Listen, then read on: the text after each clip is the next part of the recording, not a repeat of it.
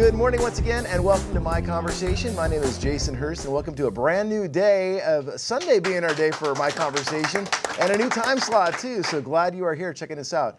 And uh, my day job during the week is Monday through Friday on Soft Rock 98.9, but it's great to come here and spend time and, and meet people all across the valley with businesses, entrepreneurs, and also from Aspect Ministries. We got Michael Bogart, who's actually a sponsor of the show, My Conversation. Great to see you, Jason. Hey, thanks for coming on in. I know you're usually talking to Feather, so I'm just glad we get to sit down and talk one on one. Yeah. And you get to share with us exactly what uh, October and how special this month is to you and what you want to say about it. Well, yeah, you know, October, this October, of course, today being October 1st, this is the 500th anniversary of something that historians call the Protestant Reformation. Okay. The time when the Protestant churches like the Anglican Church and the Lutheran Church and the Presbyterian Church and other groups like that split off from Roman Catholicism. Wow. And it started in October of 1517. Okay. Yeah. That's cool. For a resource like this, if people want to get a hold of you and actually find out what you talk about other than this stuff, how do they get a hold of you? AspectMinistries.com. So you can send me an email of, at Mike, M-I-K-E, at AspectMinistries.com, or you can go to our website, AspectMinistries.com, and see what we have to offer there. Because, you know, I got a friend, uh, my buddy Kevin, he talks about the Reformation all the time. I know the Bible, I read it through once, and I am fascinated by it, I believe it. Uh, but also this Reformation thing, I hear a little bit about it. Go a little bit more in depth about what it's exactly about. Well, over the next, my plan is on this show, over the next five weeks, we're going to talk about issues that are relevant today from the Protestant Reformation. And today I really wanted to focus on why the Reformation even started.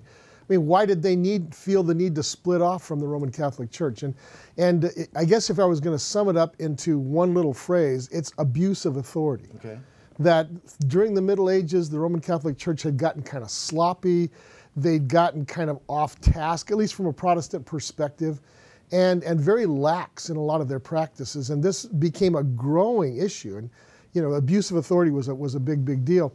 And for example, the, the Pope during Martin Luther's time, early Martin Luther's time, was Pope Leo X. Okay. And he was known for actually bankrupting the Vatican. You know, it was that bad. And so uh, this, this idea of the abuse of, of, of power, uh, an example of that was that many of the clergy were not trained. You know, the, the, the, priests were not trained. They, they were kind of not connected to the real needs of people sometimes. And I, I want to say that there, there, were probably a lot of good clergy back then. But also some Im, examples of immoral clergy and immoral bishops and so forth. Not, not all of them, but some and just a, a, general laxness in the way that things were being handled. And many people, with the increasing ability to read, more and more people could read during the late Middle Ages and the early Renaissance, which is the 14 and 1500s. They had access to the Bible and they could say, well, wait a minute, here's what the Bible says, here's what we're seeing. Yeah.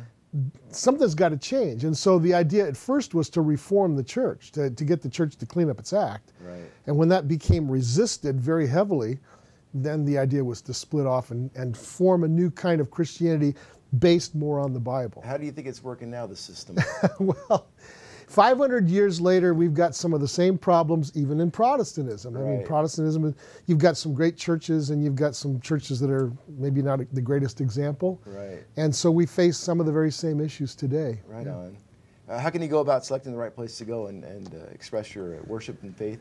Well, obviously, I mean, I'm talking as an evangelical. Okay. okay. So to me, a church that preaches the Bible as it is, uh, you know, without trying to tamper with it or anything like that, I, I, think it's a great place to start. Right. But even all of those churches are not necessarily the, the best place for any given individual. Right. You may want to check out what kinds of ministries they have, what kind of attitudes they have towards certain, you know, cultural issues that are that are spoken about a lot today.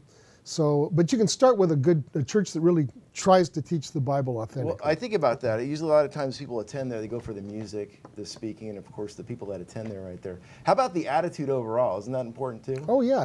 If a church is friendly and welcoming to new people, that, that says an awful lot. And what they do to make people welcome, like is there adequate parking?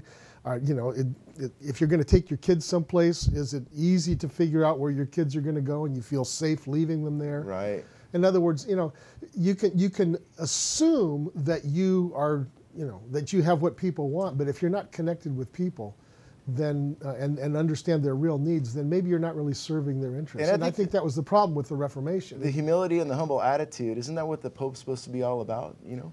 Well, yeah, and, and again, you know, I want to say the current Pope Francis seems to have a lot of humility in him. Okay. But back in the Middle Ages, the Pope was maybe the richest person in Europe. Right. That's why there's some changes that happen. Right, exactly. What do you, how do you think it's going like right now as far as the evangelical side of things?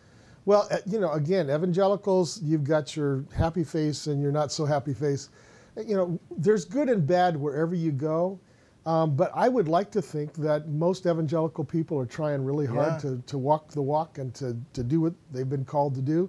There are some bad apples in the mix, but hey, that's going to be any place that you go. I think what I'm seeing right now, people are becoming more real of how we are as human beings.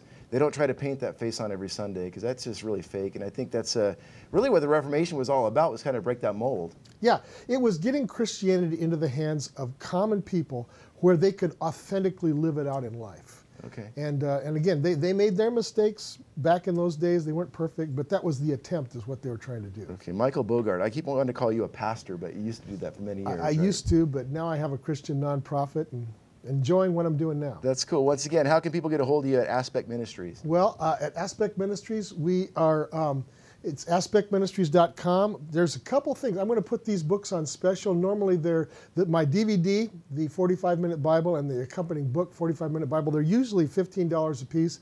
This month, they're going to be on special for $10 a piece. You can get them at aspectministries.com. And this book will get you into the Bible as an overview, Right. as, an, as an introduction to the book.